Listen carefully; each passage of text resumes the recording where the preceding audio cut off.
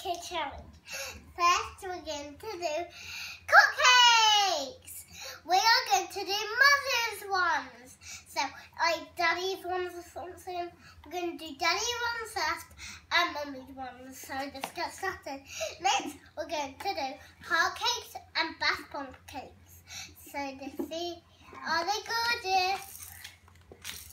So next, we're going to put the You can see what they look like in a minute, but you can see of these colours.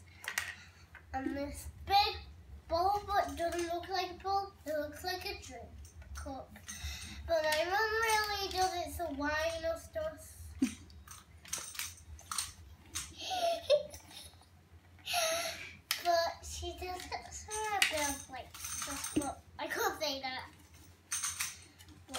I hope I need it. No, no balls. So just get started with put the egg in that. And knock it like that. We need to put it in them. Need to try it for 20 hours. Just hold it in this dressing here.